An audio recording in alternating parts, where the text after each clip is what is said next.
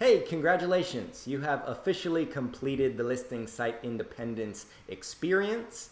And I wanted to pop on here over to my computer and give you a bit of a screencast in terms of what you can expect when you hit the continue button below. So once you've clicked the continue button, you'll be presented with the what's next scenario, and more specifically, two options. The first is view homework, in which the tool will present you with the solutions to the areas in which you need improvement. The second is the request PDF function, where we can send all of that information in PDF format directly to your email inbox for browsing at a later date.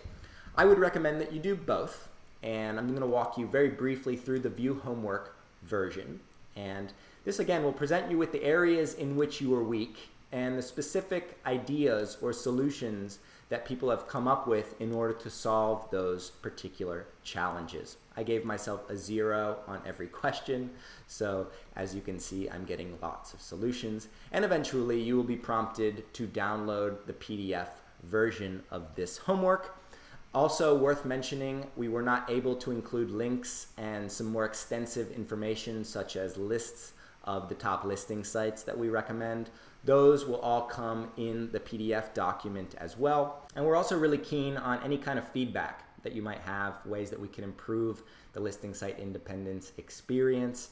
My hope is that your very precious time spent today can be really effectively utilized moving forward. We've identified the areas in which you're strong, but perhaps more importantly, these areas where you could use some improvement and using these action items to really tighten the bolts on some of those items is key in building the right kind of momentum about building a sustainable vacation rental marketing portfolio and building the right kind of business that grows on your own terms moving forward.